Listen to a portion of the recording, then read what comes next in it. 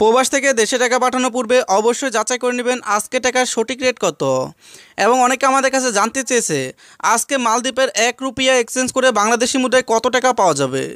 এবং প্রবাসীদের কাছে একটি বিশেষ অনুরোধ থাকবে, আপনার কষ্ট উপার্জিত অর্থ অবশ্যই বৈধ পথে ব্যাংকের মাধ্যমে দেশে পাঠাবেন। আজকে দুই সালে জুলাই মাসে মালদ্বীপের এক রুপিয়া এক্সচেঞ্জ করে বাংলাদেশি মুদ্রায় পাওয়া যাবে ছয় টাকা ষোলো পয়সা। এবং একটি কথা মনে রাখবেন, বৈদেশিক মুদ্রার কিন্তু প্রতিদিন এক থাকে না। আপনি যখন ভিডিওটি দেখছেন আর আমি যখন ভিডিওটি তৈরি করেছি, তখনকার সাথে হয়তো সামান্য হেরফেক থাকতে পারে। ধন্যবাদ।